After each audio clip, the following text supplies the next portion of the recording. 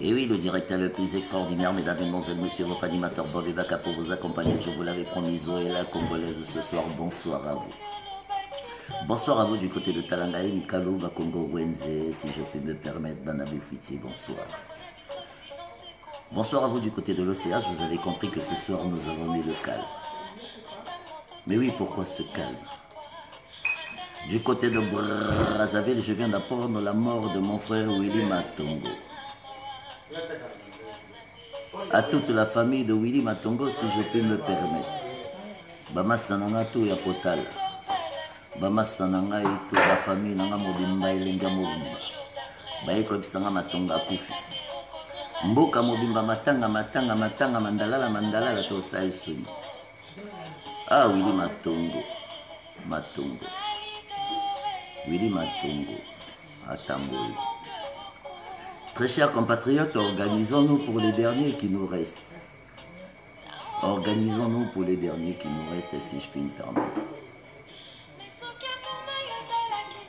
Bonsoir à toi, Jacques Moulélé, du côté de Brazzaville. Oui, j'ai appris. Mes grands frères, tu m'as toujours appelé le Corse, Jacques. À chaque fois que je parle de toi, j'ai envie d'avoir des larmes aux yeux. Oui, ton petit frère, le Corse, il est là, Jacques. Et Bacacho. Et eh oui, je n'oublierai pas Vélara Mabélé, Orlus Mabélé. Oui, c'est pour cela que j'ai fait venir Zoé la Congolaise, pour que nous nous organisons. Parce que vous êtes les baobas de cette diaspora. Et la diaspora, quand je parle de diaspora, la nôtre, de 83, de 85, de 88, de 90.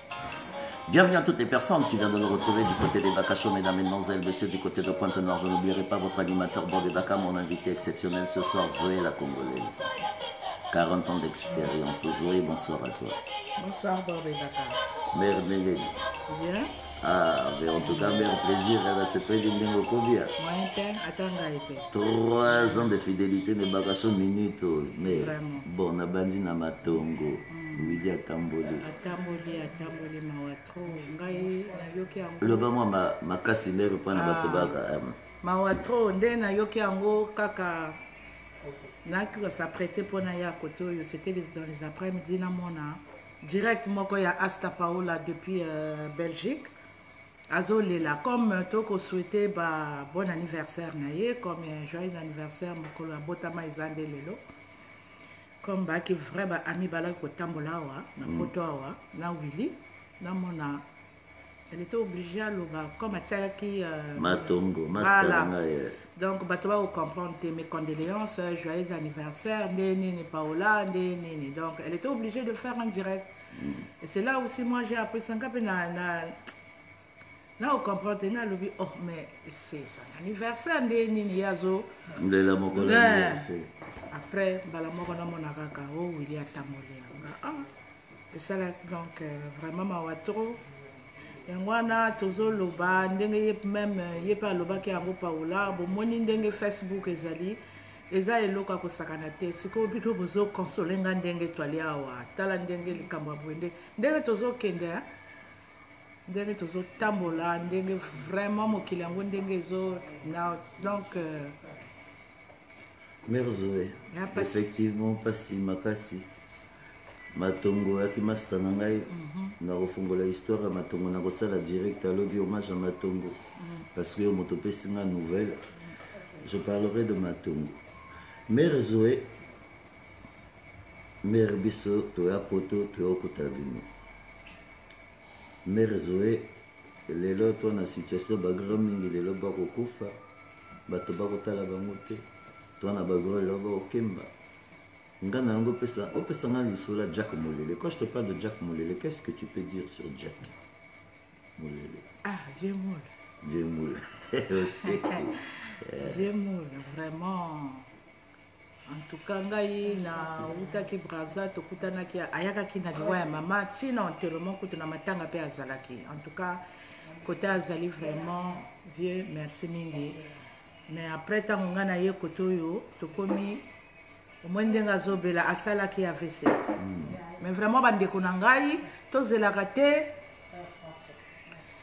Euh, tozelaka te que vraiment tozelaka mokolo moto akokufa mpo tolataka bacostume tobimisaka bilamba tosalaka monzele biso basi parce que nini tokonokutana na batipe kuna te vraiment ndenge vieux moule aza na braza kuna ana mpasi mingi ana mpasi ana mpasi donc euh, eloko kutu nasengaki kutu edite apesa ngai numero na ye nakosenga ye numero na ye mpo nasolola na ye nazala en contact parce que biso kote oyo ngai nayokaki nazwaki banouvelle epai ya, ya alain alain euh, alain moko ya alain comment il s'appelle déjà donc euh, ni epai na ye nazwaki banouvelle wana et puis euh, tosala eloko moko mpenza donc boyebi ndenge mboka ezali donc bakisi wana il faut mwa pata tosangisa mwa eloko ntango moto azobela ntango moto aza nani na, na, na bomoi na esika nde tokosala baoeuvre banini banini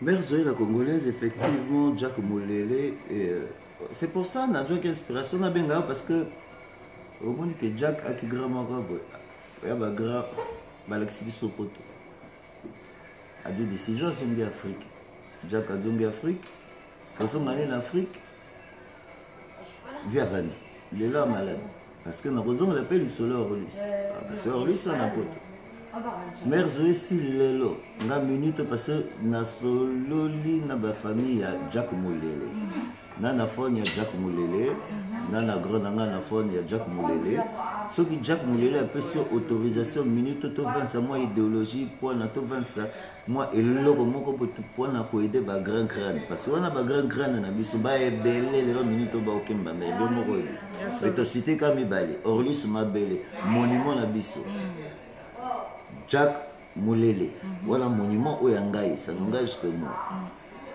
Mais minute oyo soki tozwi décision ngai na lelo libaka show tobandisa idéologie toprépare mwa eloko moko bo mpona kode bagrana on peut le faire même avec libaka show pourquoi pas mais okolanda ngo Mais bien sûr, pourquoi pas eza ndenge wana en fait euh, omoni ndenge ezali ya eloko yango epai na biso bacongolais tokoma olamuka tokoma olamuka parce que moi je me rappelle je me rappelle euh, baannée wana nazoyeba lisusu te ntango chantal nsai ntango akufaka parce que chantal corps ya chantal ewumelaka awa ewumelaka na l'hôpital saint antoine donc euh, kotambola kotambola kokende balambassade banini ngai parfois nazotika restaurant na ngai fo nakende kotala consul kuna donc natambolaka nakobeta lisolo si ça permet mpo eza makombo ya bato mpe ozomona kotambola kotambola ti naketi l'ambassade kokoma l'ambassade kuna c'était au moment aussi ya transition mbongo ezalaki te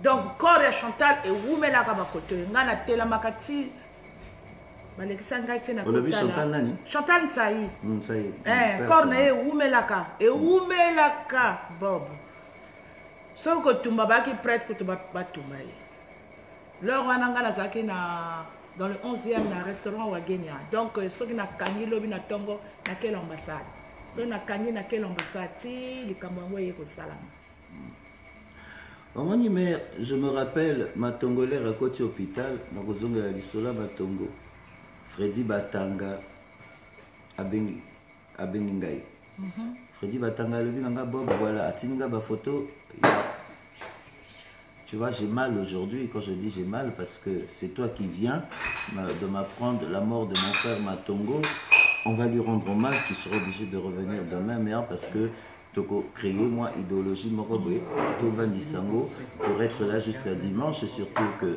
j'ai mon grand frère Amédé Nganga, qui, euh, qui, a dit qu'il euh, va trouver une solution euh, pour être du côté de la Courneuve, j'en parlerai demain soir pour mieux m'organiser, j'ai été un tout petit peu déstabilisé. Bébé Noumazalaï, nous venons de perdre aujourd'hui euh, notre frère Willy Matongo, tu sais de quoi je parle. Voilà, je rentre, je commence un tout petit peu à rentrer dans l'esprit, je vais rester concentré sur les missions.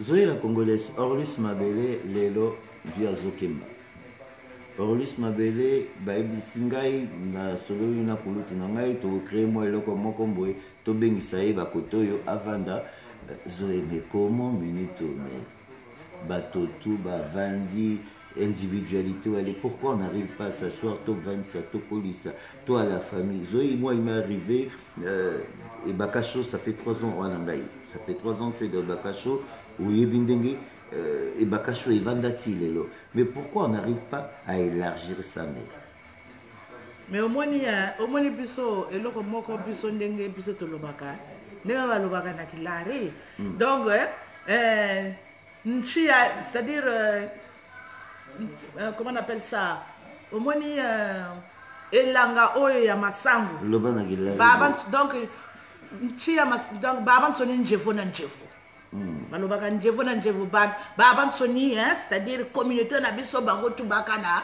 mandefo parce que mandefo eza nini ozomona so balobi bino tu bozalaka na mandefo donc moto tu alingi azala ye chef eloko ezoboma biso ni wana kichef mm. voilà donc leadership wana bakolinga te il faut toujours moto omoni ntango tobotamaka meme na famille eza na moto moko nzambe apesaka ye alobi yo telema yo nde moto kosalisa famille donc na communauté mpe ndenge toza awa na france ezala bana oyo baye sikoyo ezala baoyo baya kala soki tozalaki mpenza na boyokani omoni ndenge ba eh, omoni ndenge meme ba naloba le congo démocratique baye kokuta biso kote oyo hmm. me mona ndenge bazosala biloko chateau rouge ekomi donc awa biso namoni kaka moto moko bachelor ya bachelor ya tati ya ki encore ya sophie Hein? Sophie oyo, ba Sophie oyo ba, batekaka biloko ya bilia mm. et puis ya, ya loutre oyo akataka suki mais soki otali bien hein? soki otali bien soki tolaki mpenza na boyokani mboka oyo biso ntango tokomi kote oyo mais on était soudé on était soudé tolaka oyo yaya oyo leki biso mpe toya na bayaya nga na na bagrande na nga oyo bayamba nga na poto hmm.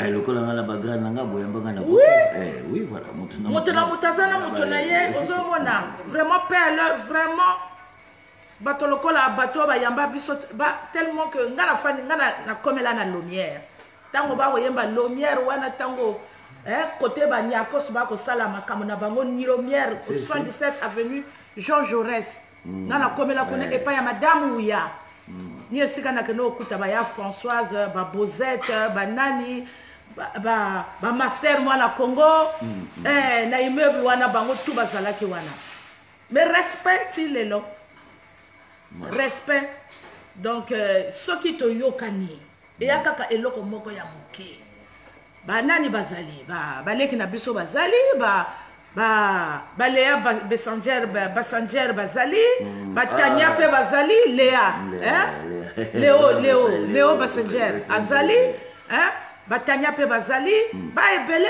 mm. ba ebele chantal mansanga aza nde na bruxelles akoya na ye soki tobengisi ye yaka lisolo eza kote oyo aza ye na, na lille akoya ardo manzona alobi fungola bango mais oui mais c'est ya solo na euh, armand ya solo hein? poto ya lelo oyo ya biso ngai nde ngai Euh, je me dis toujours na boyi te mais bato ebele bayebi te donc j'ai fait tout nafanda na plateau de 15 ans nafanda na pointe noire mpo ngai nakota na pointe noire euh, na, tofanda na con nazare parce que mon père ifi un gendarme donc euh, ba, ebele donc euh, ti nawuti plateau de 15 ans après kaka nake ofanda na, na, ba, na bakongo mais nayebi bamentalité oyo ya biso eh? donc ndenge tozali awa tosimbana tozala bomoko soki toza bomoko soki tozoyokana makambo nyonso tu wana oyo tozomona tokomona yango lisusu te totikaki mitema mabe mais comment kotika mitema mabe puisque minute zoe nakoprofite parce que bato balobi na ngai na tuno question qu'est ce que tu penses lelo mibali oyo bazwa basi ya mitaka bazwi bafuta basi na bango ya mitaka bakomi pakola bakomi mais eh, qu'est-ce qui se passe mais, mais c'est pas normal hein? c'est pas normal et en plus ça se passe que chez nous les congolais voilà exactement moi ce que j'allais dire ceci pour ça franchement nga na komona yango la dernière fois ndenge elekaki ya mwana mwasi moko boye ya une fille euh, mwana mwasi moko vraiment ntango alobaki euh, ye, ye wana mpenza c'était son coup de gueule vraiment nasepelaki nango ndenge alobaki je me rappelle du coup de gueule de la fille là ouais. voilà elle s'est fâchée parce qu'il y avait une fille à Brazzaville madame oui. Simotaka oui hein, mm, mm. elle était vraiment fâchée j'avais vraiment beaucoup apprécié maintenant ça franchement en tout cas elle était vraiment comme ça catégorique maintenant babiloko ya ndenge wana ngai nazokomituna euh, ngai ndenge bapesa ngai nkombo ya zoe la, la congolaise moi je suis beaucoup nationaliste j'adore mon pays le congo J'adore mon pays, le Congo. Je suis vraiment une vraie Congolaise à 100%. Et pourtant, je suis née à Libreville. Donc, Botika, Biloko Wana, que les hommes, ou Beno Bassi, Boswani, Ngayo Nazolo Baboye, Ngaï Yaya Nabino, Bwaba Leki Nangaï.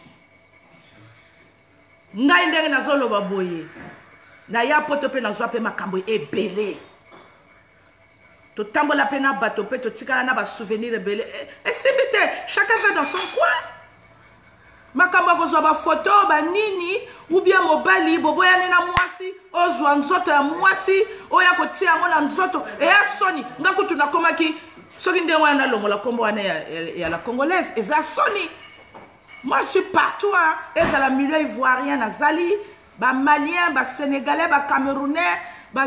partout je suis. Ba gabonais je suis. Nazoyoka masolo yango ndenge bato bazolobela. Et ya soni, nous quand on est arrivé ici là, c'est pour cela bomonaka ngai na ba fête te. Parce que moi, j'ai pris euh, habitude na ngai ntango biso toyaka tokokende ba la plantation, tokende baboite ba ebele on était vraiment mélangé bapetit chartier toyaki vraiment cocotier on était vraiment mélangé bacamerounais baivoirien banani mais congolais yaki moto moko yaki alaki moto moko omoni bafille meme ya ekolo mosusu wana soki azwi congolais ondire azwi nzambe ondire azwi nzambe eh?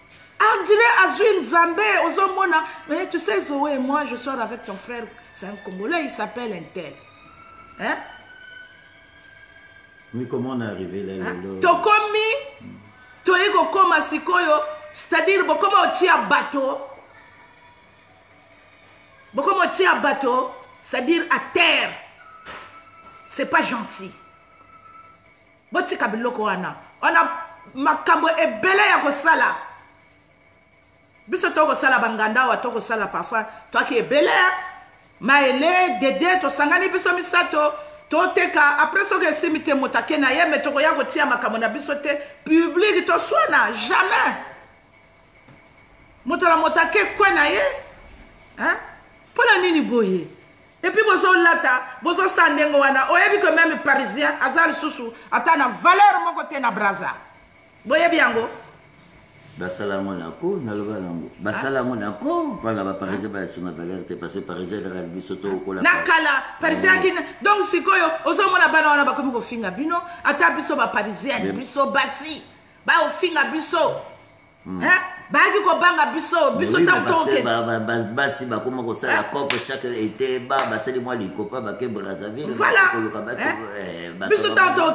tokende brazza nga retour na ngai ya liboso 83 bakolanda ngai tu peux me vendre ça na ville na presto nazobima boye bato batondani bonsoir leo bassanger leo vraiment bonsoir bonsoir ma chérie hein? babizu ebele hein? tala baleki hein? respect afanda bwa me okoyoka ye te botika biloko wana botika bozosambwisa biso tala sikoyo mwana mwasi wana oyo akomi kofinga balari eh, tala ageneralise alobaki na ye makambo mosusu ya bien me mokambo mosusu uzipetesa ndenge balobaka botika biloko wana bandeko na ngai ngai nasala direct moko parce que nayaki na, na pongi ya me nayebisaki bino botika biloko wana bavideo ya, ya mtakala wana Eh, eloko wana eh, fali ayebi yango esombisaka eh, soki bandako soki banini eh, ndenge bino boyebi ngalobalobi dubai eh? kutu peti na ngai états-unis alobi ah. dubai bokanga dubai bango bafungoli dubai bofungola dubai na anga ah, nalobi na ngai eloko te mere lobela mawa trois eza soni mingi mm. eza soni mingi oyo mpenza makambo oyo bozosala kotia nzoto ya moto na biloko ya boye eza bien te soki boza na makambo bolinga bosolola partout meme leki na kulutu baswanaka me babongisaka oyo oh, bokomi kotia yango boye soki bomoni ke moyen eza te bato bazali bakobongisela bino makambo me bokoma na betape wana te eza bien te eza bien te eh? tala fin de l'année yango oyo eh? fois tutafuara kalutawako eh? ame fois tutafuara tokolela moko bibembe ebele elalaki awa eh? regardez même j'ai la chair de poule hein? Mère Zoé, on va faire une petite pause, on va rendre hommage à Willy Matongo. Je vais lancer un appel à tous les amis de Willy Matongo. Nous allons nous retrouver demain du côté de Bervilliers, la Courneuve. Willy Matongo, c'était notre frère, je viens d'apprendre, j'étais là, j'attendais Zoé, elle vient m'annoncer, bébé oui, effectivement il était malade, tu m'as posé la question tout à l'heure, si euh, Willy Matongo, j'ai honte parce que euh, Freddy Batanga m'avait contacté pour lancer un appel pour aider euh, Willy Matongo, et je me rends compte qu'aujourd'hui, Freddy Batanga, je ne sais pas quoi te dire. Matongo, nous avons partagé les moments les plus extraordinaires. Euh, du côté de Paris, Matongo, j'ai connu Matongo à Potopoto, nous avons grandi à Potopoto. Quand elle m'annonce la mort de Matongo, comprenez mon émotion, mesdames, mesdemoiselles, messieurs, je ne puis m'exprimer musicalement ce soir. Mais demain, je vais retrouver, je vais lancer un appel demain, le temps de m'organiser avec les gens qui m'ont reçu du côté d'Aubervilliers. Pourquoi pas ne se retrouver ici demain soir, vendredi soir, samedi, pour rendre hommage à Willy Matongo. Je m'organise avec aurez la Congolaise. Et nous allons rendre hommage à Matongo du côté d'Aubervilliers. Demain soir, nous vous envoyons l'adresse. Matongo, c'est vrai, qu'il n'était peut-être rien, mais Matongo avait des frères, Matongo avait des amis, Matongo avait une famille. Nous sommes la famille de Willy Matongo. Willy Matongo, paix à ton âme. Ce qui est sûr, j'ai la chair de poule, voilà, ça commence aussi à rentrer. Freddy Batanga m'avait dit de lancer un appel pour essayer de t'aider mais je ne sais pas, je l'ai peut-être pas fait parce que ça servait à rien. Je savais que euh, personne n'allait, allait. Euh, je connais l'esprit congolais, c'est ce que je suis en train de dire. Mais non, que Willy vient de parler, euh, Willy vient de partir le jour que je lance l'appel pour aider notre grand frère Jack Moulele. Willy vient de partir. Willy Matongo, c'était les petits frères de Jack Moulele. Ils, sont ils ont décidé de rentrer. Ils sont rentrés chez eux. Et voilà, ils sont en train de partir. Très chers compatriotes, vous connaissez la tradition de cette édition. Je vais rendre hommage à Matongo. Demain, je m'organise avec les responsables de cet endroit. Pourquoi ne pas faire la veille de Willy Matongo ce soir, vendredi soir et samedi soir Très chers compatriotes, bienvenue. Juste après Zoé, la Congolaise, nous allons parler de la diaspora. Zoé, on va prendre un peu d'air. C'est vrai que le son n'est pas pareil, mais écoutez, vive la République. On arrive.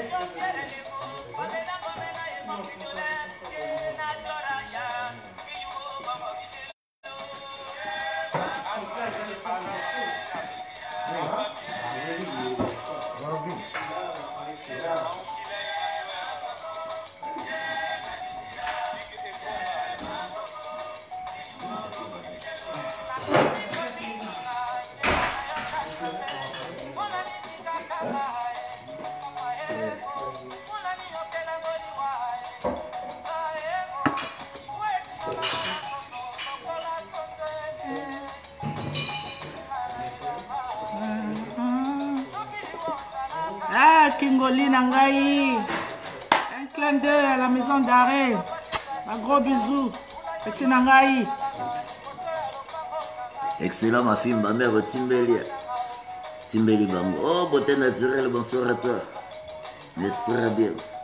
Zoé la congolaise. Bomoni ke na kati ndule na diminuer ndule lelo parce que mm. on vient de perdre Willy Matongo.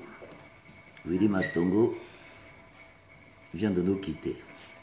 Na ko la mère Zoé et continue moi bouleversement moko boye. Bomoni toko continuer idéologie. Euh, c'était un frère.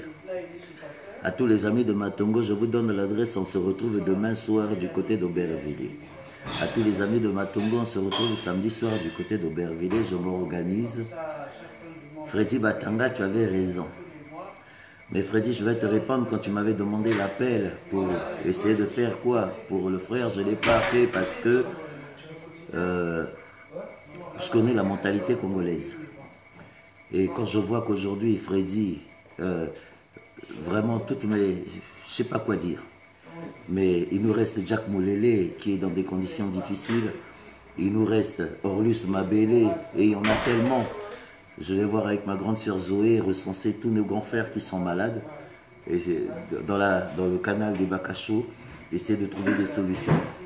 Préparer une équipe qui pourront aller pour aider nos frères. Mère Zoé, effectivement, je sais que tu as beaucoup de choses à dire. La tradition de l'émission, je vais te laisser discuter. Oloba, vraiment, qu'est-ce qu'on peut faire Oloba, et puis on conclut l'émission. Zoé, je te laisse Ebakasho. Ah, c'est à toi. Mais Toyoki likambo ya liwa nde lelo akufi nde lelo. Hmm. Donc euh, tosala lokola ndenge tosalaka mpe bakoto oyo mpe tala kaka ba ba mazuka bakufaka bakote oyo mpe totelamaka eh, biso tu eh. makambo esalamaki bien donc eh, bango tu donc ndenge toza boye toaka bomoko so tofandi kaka bomoko tozoyokana bien tozosolola bien hein? vraiment tokosala makambo mosusu wana ekozala kaka on dirait que eya kaka petit problème omoi likambo meme soki eza monene mais soki boza ebele bobongisa bozosala moke moke basengi te o oh, yo fo obima bamillion te mpo biso moko mpe toya na mpasi bakotoyo donc na moke moke tokosala likambo oyo ya bien awa ata na somur awa epai ya, ya pif eh? liglabo moko ya bien donc boye mpe kote oyo bofandi mpe tosolola masololo ya bien tobongisa tosala ndenge nini tokosala mwa eloko moko ewuta kote oyo quand meme aza moto moko mpe afandi mpe kote oyo ifi un résident ici tokotika bato na biso te boye baninga na biso basalaka yango ya ngambo eh? baninga na biso basalaka yango ya ngambo eh? basalaka yango ya ngambo mingi eh? moto akendaka depuis kala na kine babayoki soki akufi bazosala meme soki aza malade bakutani na restaurant moko boye basali likambo batindi mbongo eh? il faut vraiment tozala e moko twa bacongolais makambo oye lari oyandi mboshi oboye biso biso twa bana ekolo moko deja soki tosangani to, to te ah, kataro tomaro mpashe eh? luluzolo bata lutela luzolo luzolo ma marine ya mankesi nge ntama oyo eza kombutu mari eh? tala ndenge poto yango ndenge ekomi bolingo eza lisusu te mwa problème moke kaka le eh? bopalangani eza bien te towuti okufela bato mibale awa eh? batiki bana eh? batiki bana Et eh oui, mesdames, mesdemoiselles, messieurs, sur ce dernier mot de Zoé la Congolaise, nous allons nous retrouver du côté d'Aubervilliers. Je m'organise avec ma grande sœur. Willy Matongo vient de partir. Nous allons préparer, nous allons faire une pierre de coups. Il y a Willy Matongo qui vient de partir. Demain, on se retrouve au Saumur, ici, à la même heure. Nous allons vous communiquer l'adresse, la veille de Willy Matongo. Nous allons l'assumer. Freddy Batanga, je t'appelle demain. Effectivement, j'ai tellement mal, je suis obligé de couper cette émission. Parce que vous savez, Freddy, tu m'as dit, Bob Willy Matongo, tu m'as envoyé la photo. Tu m'as envoyé la photo de Willy Matongo. Tu m'as dit, Bob lance un appel pour aider Willy Matongo. Mais je sais pourquoi je ne l'ai pas fait, Willy, je te donnerai mes raisons. Mais nous allons rattraper, nous allons nous préparer pour la famille de Matongo. Nous avons vendredi, nous avons samedi, nous avons le temps de préparer une petite enveloppe pour la famille de Matongo. Et juste après, nous allons essayer de voir qu'est-ce qu'on peut faire pour Jack Moulele et qu'est-ce qu'on peut faire pour notre grand frère Orlus. Et Zoé va recenser tous nos grands frères parisiens qui sont là depuis longtemps. Nous allons dans le canal des Bacachots. De toutes les façons, je suis une association. Pourquoi ne pas faire une association pour aider Mais ben oui